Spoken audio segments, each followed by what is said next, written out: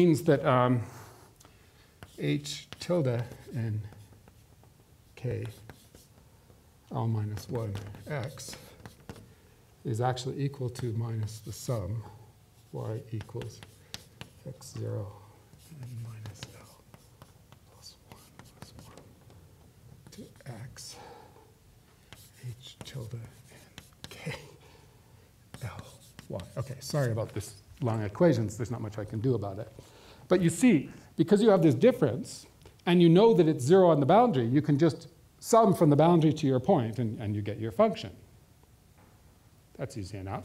But what that means is that if this thing, is this right?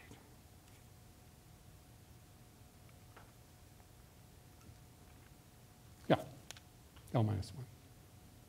Right. So if this thing is a polynomial of degree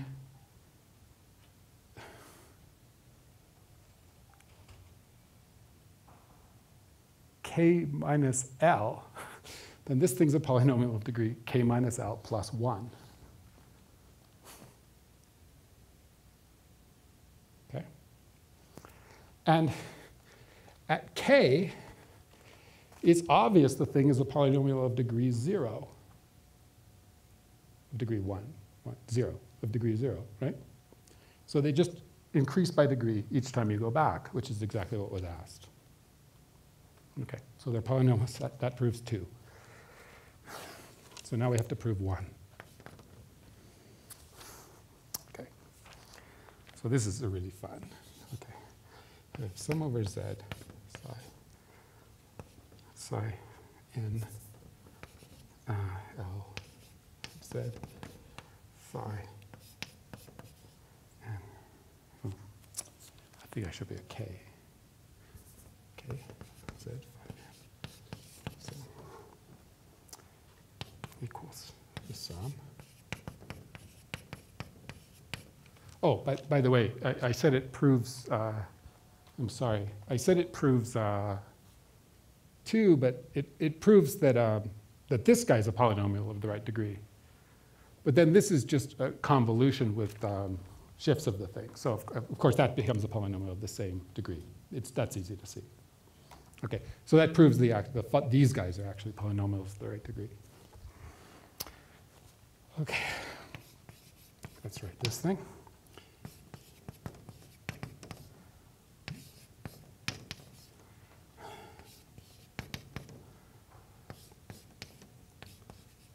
There's not enough room on these boards to write these formulas. So HK N 0. This is a continuation of, this, of that's a product. RT minus 1, Z2, Z. Okay. So, you, so I just wrote it out. You get, you get this sum. Okay? But now you've got RT, you, you, you've got this sum, and you could put the sum first, on, you could do the sum first on the, on the Zs. Okay? If you do the sum on the Zs, there's RT, RT inverse. So that just becomes an identity. And that means that Z1 is equal to Z2. So this thing is equal to the sum over Z of Q to the minus L, Z, X0, N minus L, H, K, N, 0, Z. But that's actually just a way of writing Q star minus L acting on H. Okay? But what does Q star do to H? It shifts it around in the L's. So this is H, K, N of L, and then you just evaluate at x, 0, and minus L. And lo and behold, it's told you to evaluate it on the curve, x0, at L, but that's only equal to 1 when L is K.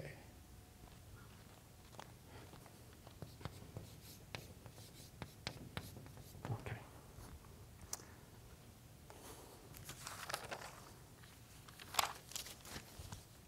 So now we found the phis. And that's always true, no matter what.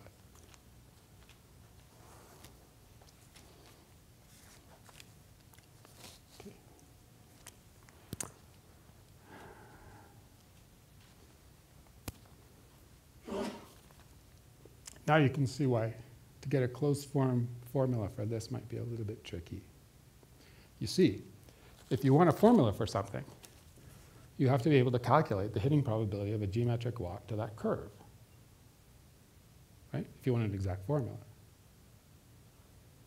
If the curve is just linear, particle, hole, hole, particle, hole, hole, then it just goes up like that.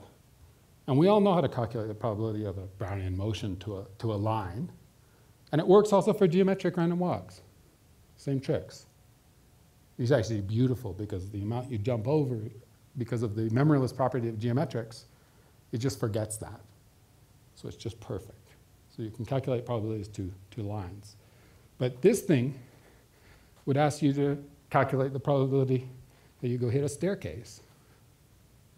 So it's obviously, it's not going to be a nice formula. Okay?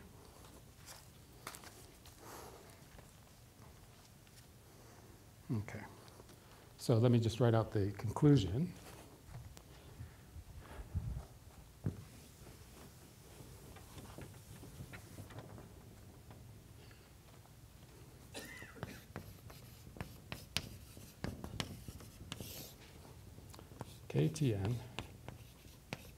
Oh, this is the one point, that's all we needed, is RT, this funny RT on the sides, Q to the minus N, G 0 N, RT inverse, where G0N, Z1, Z2 equals um, probability. That B star minus 1 is equal to that 2 tau 0 is less than n. B star n minus 1 equals 1. Where tau 0 n is just the first time you hit the curve between minus 1 and n minus 1. I'm sorry, it comes out slightly awkward enough.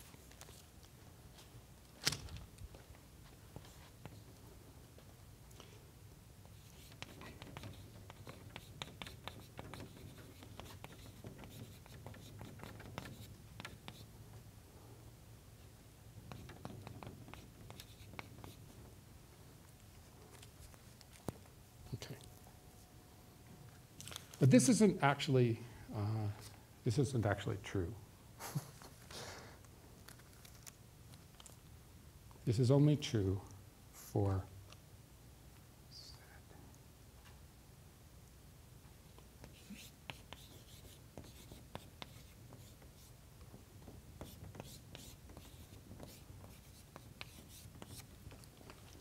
below the curve. Above the curve, it's some sort of analytic extension of that.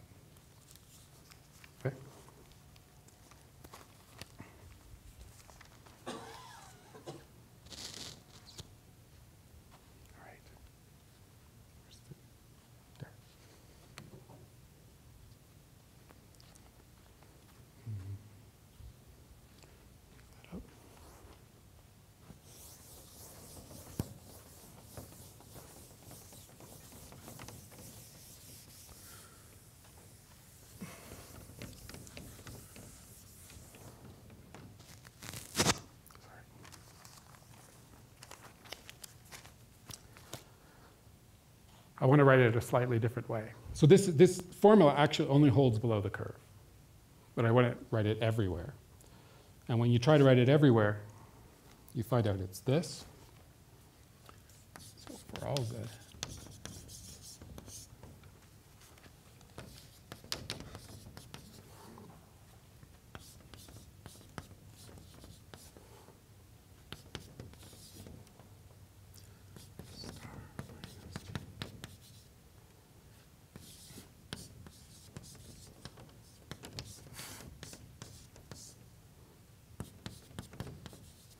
things start to look familiar, where,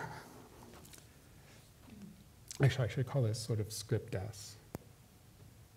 Let me, let me write a double. it's, it's not the same S as before. It's, it's the microscopic S. So this script S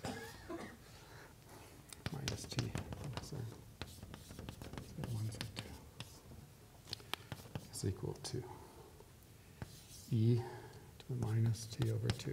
This R, I'm just writing it out.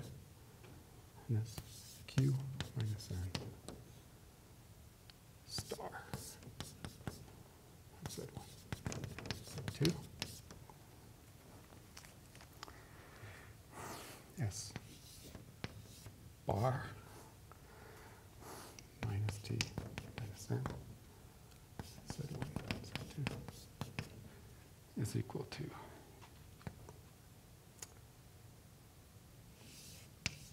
Q bar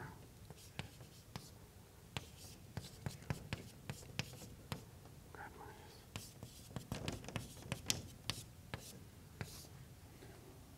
And Q- bar is an analytic extension of Q.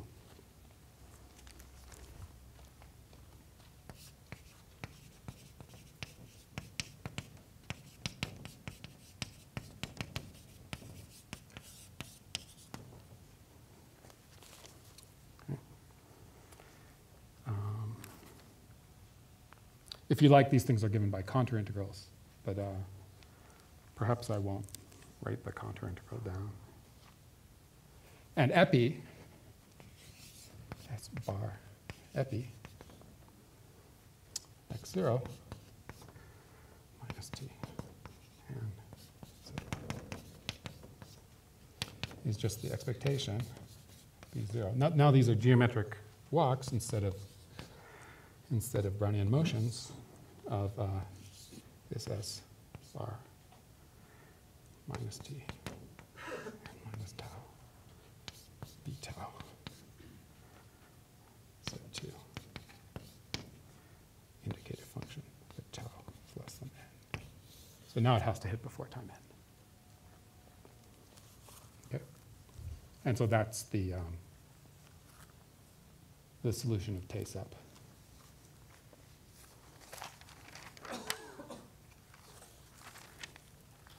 Okay? So the, so the theorem, the theorem's sort of written in different pieces here. This holds with that kernel for any uh, right finite initial data. Okay? One can also write formulas for not right finite initial data, but they're a little bit more cumbersome. It somehow it wants to be written like this. I'm not sure why. And of course, if you've, if you've got some special case where you can compute the hitting time to a curve, for example, the periodic, you just compute it, you can calculate the S epi explicitly, and it's just exactly the formulas you, they had before. Okay, yeah. You said that the particle, particle, hole, hole, that's hard to deal with. But particle, hole, hole, hole, particle, That's easy. so what, what's the difference in, you know, why do you, how do you see the difference? Well, because you're trying to hit the curve x0. So particle, hole, hole, particle, hole, hole. That just means that x0 is 3 minus 3i. So you're trying to hit the curve minus, I can't draw anything for the life of me. You're trying to hit the curve minus 3i. That's, that's really, Of course, it's just, it's just- the other one is a little staircase. So it's not surprising you don't have exact formula. But of course, everything we do is soft, so the- of course the staircase gets proved by just linking it to the other guys? So you won't, so for example, for the staircase, you will not have a completely explicit formula here. It'll be mildly inexplicit in terms of hitting times of the staircase. When you pass to the KPZ limit, it doesn't care if you had a little staircase or if you had a straight guy. They're all flat. Okay? Does it make sense? All right. Um, I should just add a word. Um, because I, I want to show you, I have 15 minutes, so I want to show you a little bit of the scaling. I said I would do the one, two, three scaling today, so I'll try to do that. Um, uh, that uh, while, while this is true, it's not actually true that um, these k's, in this case, are trace class operators. But there is a conjugation to make them trace class operators. And that's enough to make the sense of the Fredholm determinant, because the Fredholm determinant is invariant under conjugations. So if you can conjugate to a trace class operator, that's fine. Okay? It means that there, th this, the space may actually not be exactly L2, but it's something a little bit different. Uh, and um, this R is a typo, of course, that's Z. okay. Okay, so now we want to take the 1, 2, 3 scaling limit of this thing. And I just want to show you how remarkably easy it is.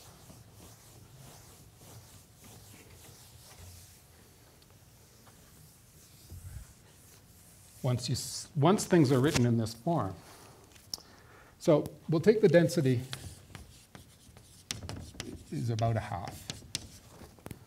And then we know that we should rescale h epsilon tx.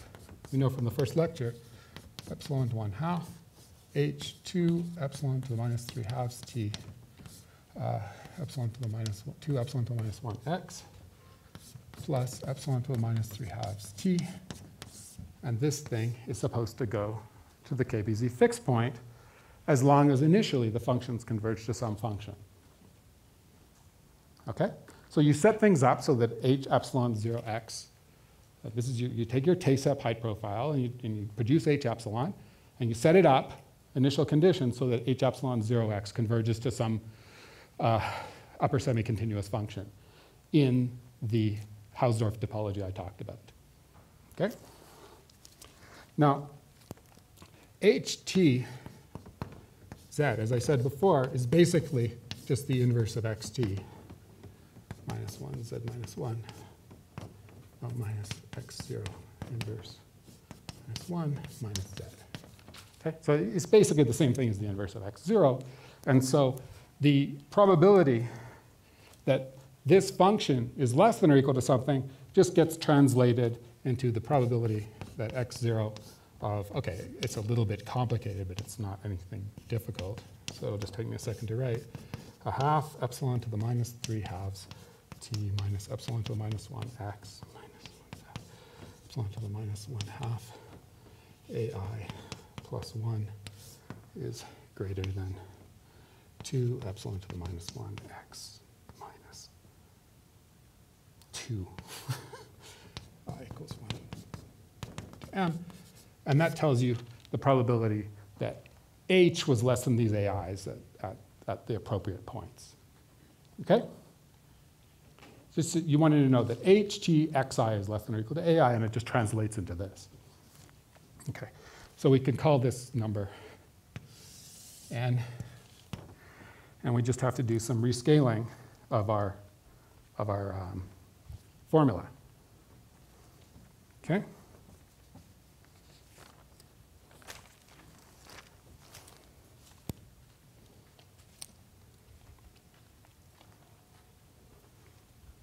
here's the formula. Let's take, for example, this guy. We want to rescale him. Okay.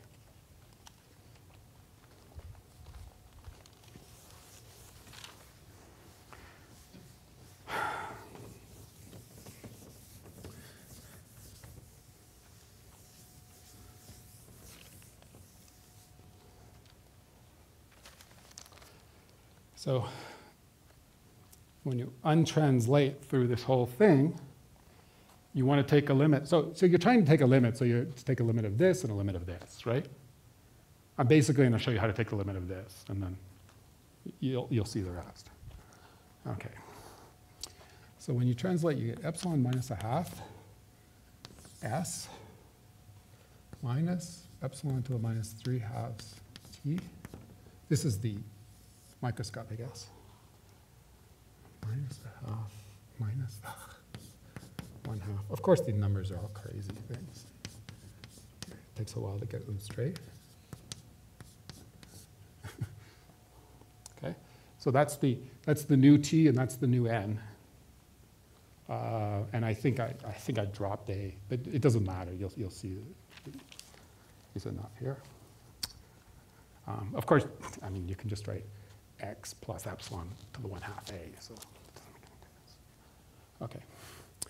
Okay, now the S has variables, and of course, in a, in a, when you take a limit of Fredholm determinants, you may have to shift the variables. You may have to do conjugations to get the thing to come out right, and here you have to do a little shift.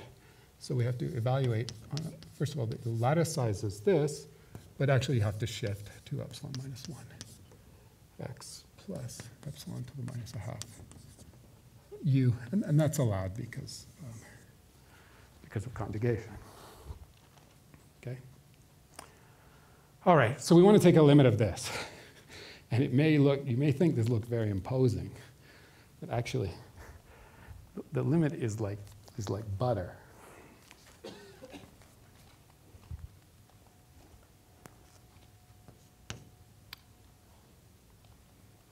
Because this is just this.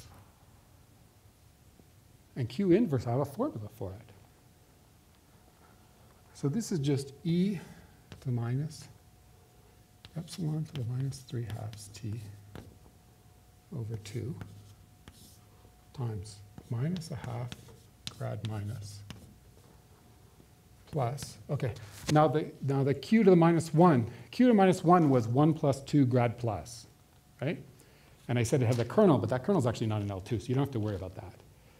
So I'm just going to write that as e to the log. And you might think, well, that's not quite allowed because grad plus is an operator bounded by 1, but we're on a lattice of size epsilon, so actually grad plus is size epsilon to the lattice of size epsilon to the 1 half. So we're, um, so, so, so, grad plus is an operator of size epsilon to the 1 half, so that's okay actually. So plus 1 quarter log 1 plus 2 grad plus. So just remember that's of order epsilon 1 half. Uh, and then, um, okay, so we've got that. And then actually I want to separate out the epsilon to the minus 1x here and write this as q star um, epsilon to the minus 1x. Okay, here's what you get. And I didn't write inside the variables. Fair enough? Okay. Now, now this guy here, this guy's being evaluated at this point here, right? And that's actually the mean of this random walk q star. So you won't be very surprised to know that this thing goes to e to the x d squared. That's okay if x is positive. If x is negative, then you have to pull some more stuff into the other guy and then and, and pay for it later. That's okay. So this is actually very easy. That's just the, that is just the standard convergence of random walks properly recentered to Brownian motions. Okay? But what about this thing? Okay, so here's, here's the black magic. Right, minus 1 half grad minus. And now I'll just expand the log. And remember, we're on a lattice of size epsilon 1 half. So grads are size epsilon 1 half.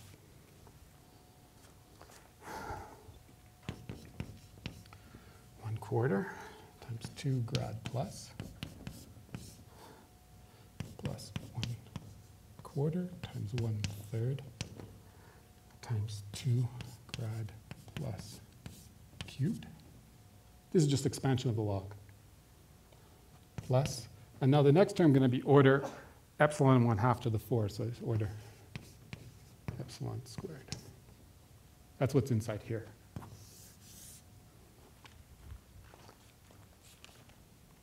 Fair enough?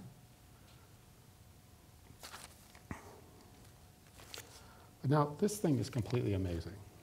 I've got minus grad minus plus the same 1 half grad plus. So that's a Laplacian. Okay? Does everyone see that? That's a discrete Laplace operator.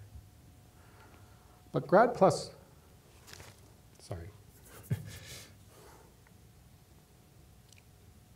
oh, I, I dropped, I, I, dropped a term, sorry.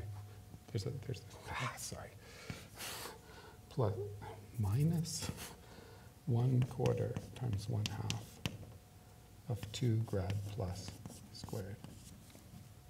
And then this thing is a cubed. Sorry, um, I just want to see if that's correct. It, it really matters.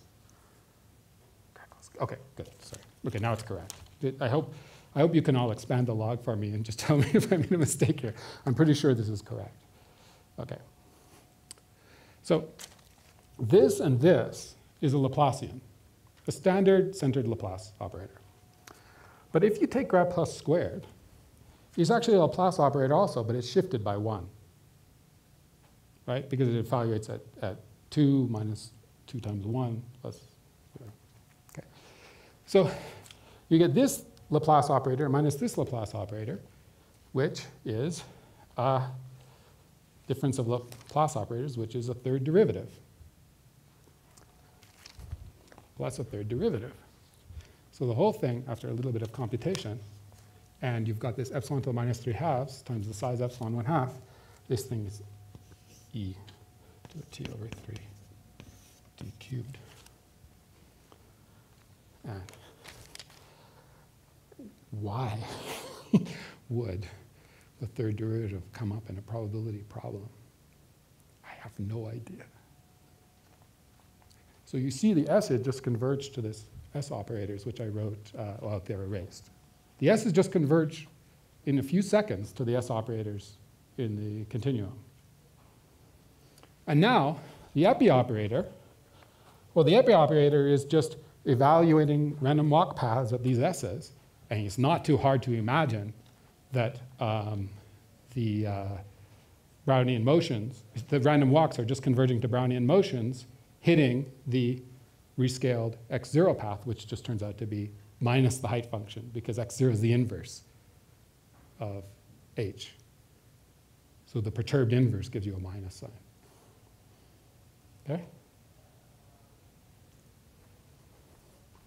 And so that gives you the KPZ fixed point formula. So let me just, I've got, should, maybe I'll just say it.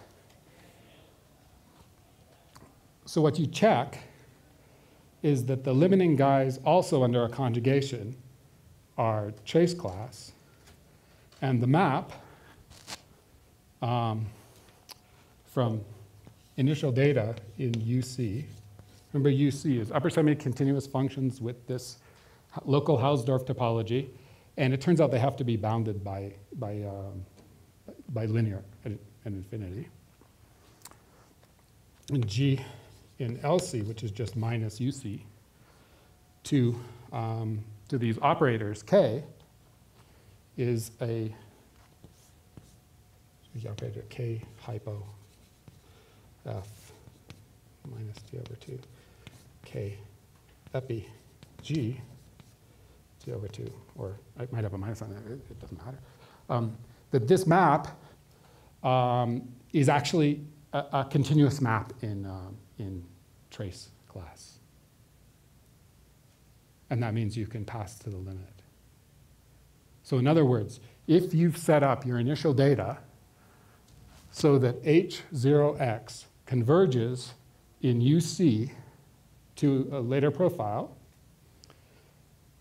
then the, at time t later, um, the whole thing converges again to the KPZ fixed point. Okay? So it's that, it's that soft. Um, there's one little twist to this, which I haven't gotten to, and I'll just explain in words. We started with right finite initial data. So when we get to the KPZ fixed point, we had a KPZ fixed point, which the initial data has to be zero past a per, sorry, minus infinity after a certain point to the right. Okay? So everything I've written is only proved so far for initial data for the KPZ fixed point, which is minus infinity to the right of, well, zero, but it doesn't matter because of translation invariance, so it just has to be to the right of some point. Does that make sense? But now you can check, because you have exact formulas, you can check how much it matters out there.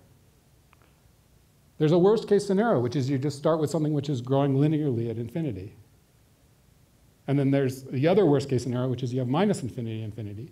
And you can check that the difference, if you're at, at minus L and you cut off, is actually like e to the minus L cubed.